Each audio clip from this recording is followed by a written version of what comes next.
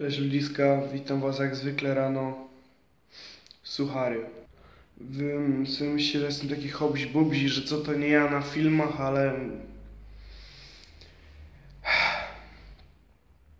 Nie powiem, nie powiem, że mnie, że, że mnie boli śmierć babci, nie powiem. W nocy całą noc przeklipałem w poduszkę. Tak. Lećmy z sucharami dalej. Ale podnosi mnie na duchu komentarz mojego kuzyna. Pozdrawiam, że tam będzie jej lepiej. Lecimy z sucharami. Dlaczego UFO nie porywa blondynek? Bo porywają tylko osoby inteligentne. Stop, stop, stop, stop, stop. W ogóle jeszcze zanim e, będę kontynuował odcinek, to muszę powiedzieć, że wy w ogóle nie powinniście się dowiedzieć co o tym, co się stało rodzinie. Nie powinniście tego wiedzieć. Nie wiem dlaczego się wygadałem, ale jest już za późno, żeby to, żeby się z tego wykręcić. No trudno, no. Wiecie, no. Jedziemy dalej. Ile waży jabłko? Krystyna z gazowni.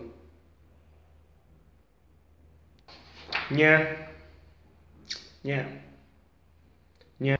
Rozumiem. Nie rozumiem tego. Tam na pewno pisała Krystyna z gazowni? Najlepszym dowodem na to, że w kosmosie y, istnieje jakakolwiek inteligencja, jest y, to, że się z nami nie kontaktują. W sumie można było powiedzieć, że to jest prawda, bo po to się kontaktować z Ziemianami, z takimi z taką cebulą, albo jeszcze z Polakami, nie? Dobra, ej, nie, przepraszam, przepraszam, bo, bo kurde, jak kibole mi zaraz wparują do domu i o Jezus Maria. Na razie, trzymajcie się. Do zobaczenia do kolejnych odcinków z sucharami na moim kanale. Możecie też powiedzieć, że się nie przejmuję śmiercią babci, y, nagrywając suchary, ale się przejmuję. Staram się po prostu to ukrywać na filmach, ale się naprawdę przejmuję. Na razie ziomeczki, trzymajcie się. Postaram się już więcej nie wracać do, do tematu śmierci.